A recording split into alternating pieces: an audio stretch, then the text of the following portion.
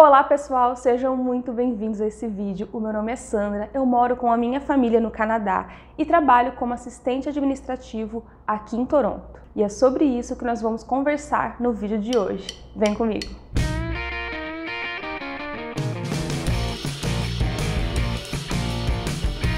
Esse vídeo é uma continuação, eu estarei respondendo perguntas desse vídeo aqui que eu falo tudo sobre a profissão de assistente administrativo no Canadá. Eu falo nesse vídeo sobre as funções, requerimentos, escolaridades, como é o ambiente de trabalho e até salário. Eu falo toda a minha experiência, tudo que eu sei sobre essa profissão aqui no Canadá. Então, se você ainda não assistiu esse vídeo, eu recomendo que você assista, porque nesse vídeo aqui eu vou estar respondendo perguntas que deixaram tanto nos comentários do vídeo como também no Instagram. Começarei respondendo as perguntas agora. Eu recebi várias perguntas, mas algumas delas perguntam mais ou menos a mesma coisa, então eu vou juntar algumas e fazer uma resposta só. Então, bora lá começar.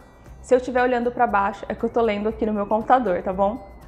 Precisa ter faculdade para trabalhar como assistente administrativo no Canadá? Posso ser assistente administrativo só com college? Não, você não precisa vir para o Canadá estudar para ser assistente administrativo. Como eu falei no vídeo anterior, existem vagas que pedem só high school e já tem outras vagas que pedem um curso no college de um ou dois anos, varia muito da vaga e varia muito da empresa.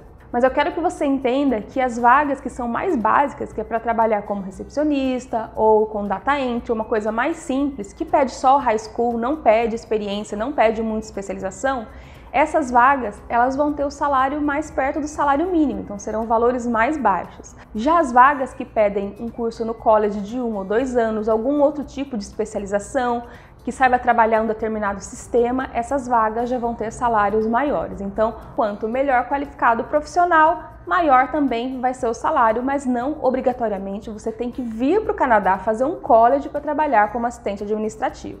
As coisas que você aprendeu no college foram realmente úteis e imprescindíveis para trabalhar na área? Quais conhecimentos técnicos você diria que fizeram a diferença? Me pergunto se é mesmo necessário um ano de estudo para trabalhar nessa profissão. É, como eu já falei, não é necessário esse um ano de estudo, você conseguiria uma vaga sem ter feito college.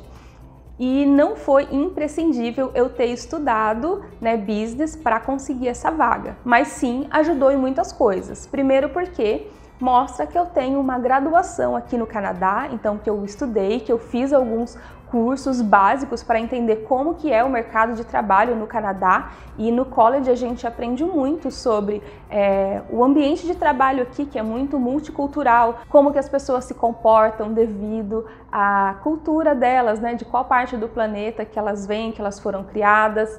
E outra coisa que foi muito importante também foi aprender sobre as leis aqui do Canadá, aprender um pouco sobre como funciona o país, governo, o que que é, governa o que, o que, que rege o que, e leis básicas também aqui da minha província, da província de Ontário, né? Como abrir uma empresa, quais os tipos de impostos, esse tipo de coisa foi realmente útil para quando eu fui trabalhar como assistente administrativo. Mais uma pergunta que vai ajudar muita gente. Tenho 12 anos de experiência na área administrativa. Tenho tecnólogo em processos gerenciais de dois anos. Você acha que ele serve para o mercado de trabalho aí? Será que minha experiência como servidor público serve?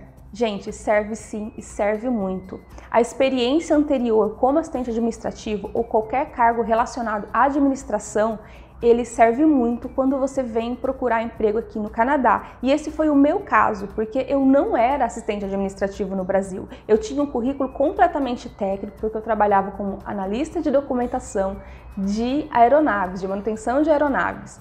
Eu não ia conseguir entrar nessa área, então eu trabalhei o meu currículo para um currículo administrativo para que assim eu conseguisse o um emprego no NOC e desse continuidade aí ao nosso processo de imigração. Deixe uma ideia de como ficou o seu resumê, de como ficou o seu currículo. Eu transformei o meu currículo técnico em administrativo, tirando tudo que era muito específico, tudo que era relativo à aviação, cursos muito específicos, tarefas muito específicas e pensei só na vaga administrativa. Para isso eu contei com a ajuda de várias vagas de assistente administrativo, eu lia o que precisava e pensava assim, isso eu sei fazer, isso eu fazia, né? Como por exemplo, é, atender o telefone, falar com o cliente, agendar reuniões, colocar informações no sistema. Então eu trabalhei essa parte assim no meu currículo de cima a baixo, tirando tudo o que era muito específico, mas sem deixar de colocar a minha experiência em empresas anteriores. Eu coloquei lá meu cargo, que era analista de documentação, mas eu coloquei embaixo funções administrativas. Então isso me ajudou bastante. Nesse vídeo aqui eu falei como eu transformei o meu currículo técnico em um currículo administrativo para conseguir concorrer a essas vagas administrativas aqui no Canadá. Então passa lá, confere que está bem interessante para vocês. Precisa ter uma carta que comprove a sua experiência anterior no Brasil? Adoro o seu Insta. Obrigada. Então, eu não precisei de nenhuma carta para comprovar a experiência anterior no Brasil. É, primeiro porque durante o college eu trabalhei como part-time num supermercado. Então eu já demonstrei que eu já tinha trabalhado no no Canadá, né? E a minha primeira entrevista, que foi para um escritório de advocacia de um português, foi uma entrevista bem dinâmica. Ele fez a entrevista comigo em português e inglês e ele perguntou várias coisas bem específicas. É, você consegue atender o telefone? Se um cliente for grosso com você, se for uma informação que você não pode dar para o cliente, o que você faria? Você consegue trabalhar é, com sigilo? Você entende o que é sigilo? Então ele fez várias perguntas muito específicas que comprovou provou que eu tinha experiência e que eu era qualificada para fazer aquele trabalho. Então eu não precisei comprovar a experiência por causa disso, mas cada caso é um caso. Há empresas que pedem essa carta de referência sim. Poderia dar mais detalhes sobre essa profissão no Canadá? Cursos para fazer, inglês, o que os empregadores esperam dos funcionários. Bom, todos os detalhes sobre essa vaga tá nesse vídeo aqui que eu já falei para vocês. E o que os empregadores esperam dos funcionários é que você seja capaz de executar o trabalho conforme estava descrito na vaga e conforme está descrito no seu currículo. Depende muito da empresa, depende muito do seu chefe, o que ele vai esperar de você. Então, essa é uma experiência individual que só quem vive ela que vai poder dizer. No meu caso, eu já tive empresas que o chefe era super tranquilo, super de boa, eu fazia o meu trabalho, entregava e ia embora sem preocupação nenhuma. E também já tive chefes que pegavam no pé, que centralizavam, que não dava espaço para você trabalhar ou para ter ideias. Então, varia muito. Eu acho que nessa parte assim é mais da empresa que você vai trabalhar e de como é a sua adaptação a isso. Se você procura um curso para fazer para entender como é o mercado de trabalho canadense e trabalhar como assistente administrativo, eu recomendo alguma coisa voltada a business porque está diretamente relacionado a essa função. Você conseguiu um emprego por indicação ou foi na cara e na coragem mesmo? Você está gostando da profissão de assistente administrativo? Você foi contactada por headhunters e se foi, como aconteceu? Primeiro de tudo, eu gosto de trabalhar como assistente administrativo, sim. Não é o que eu sonhei para minha vida, né, no meu sonho de profissão, mas foi a oportunidade que me apareceu, eu agarrei e me adaptei muito bem.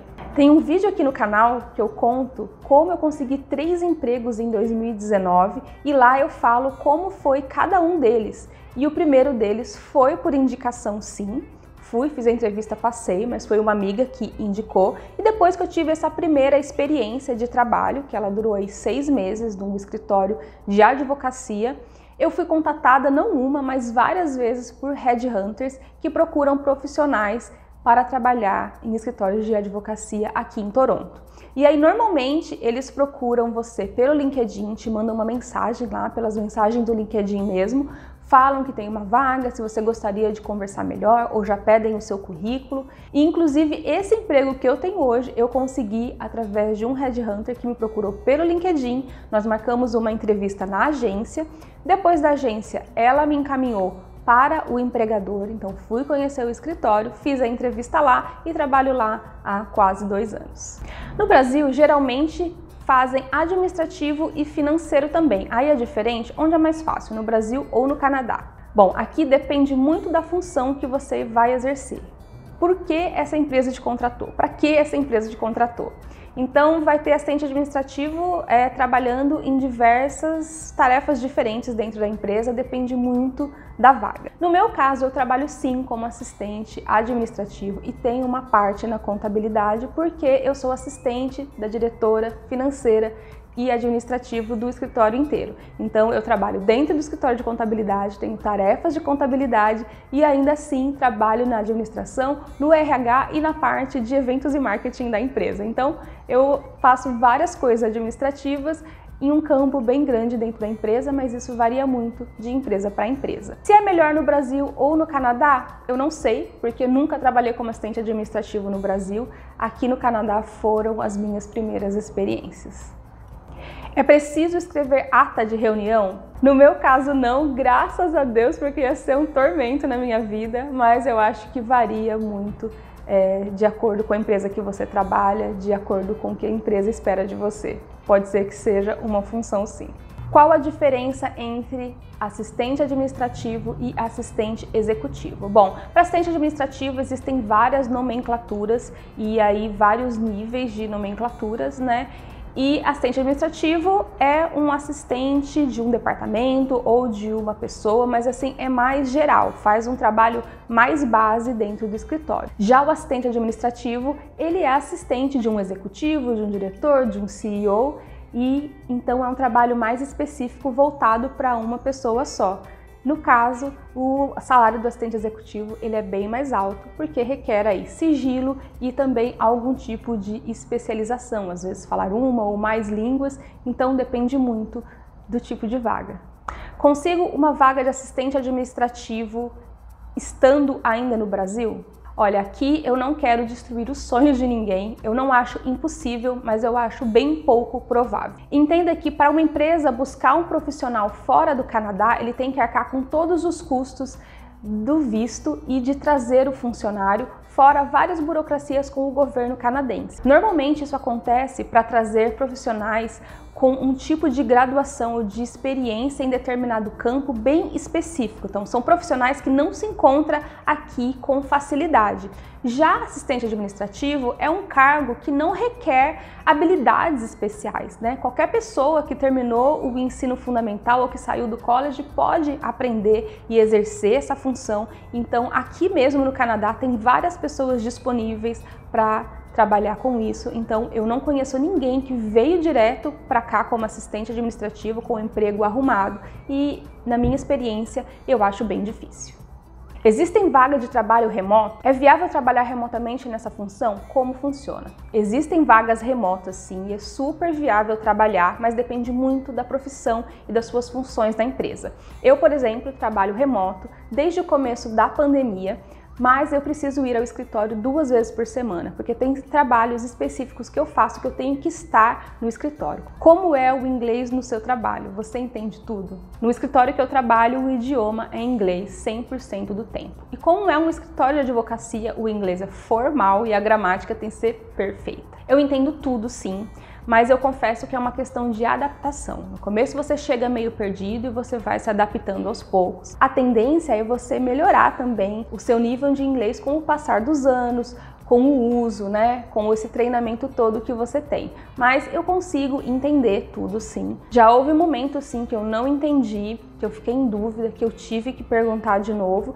mas isso acontece até mesmo em português. Então é, é uma questão de tempo, de adaptação e é um aprendizado contínuo. Qual foi a maior dificuldade que você já encontrou exercendo esse cargo? Bom, no começo eu tinha pavor de atender o telefone, de falar no telefone, de ter que explicar alguma coisa no telefone e não tem como, né? Assistente administrativo tem que falar no telefone, às vezes você é recepcionista da empresa inteira, como foi no meu primeiro emprego, então eu tinha que falar no telefone, não tinha como fugir e eu passei muito aperto por não entender principalmente o nome das pessoas. O nome é uma coisa muito difícil, porque aqui em Toronto você tem pessoas de todos os países com nomes esquisitíssimos.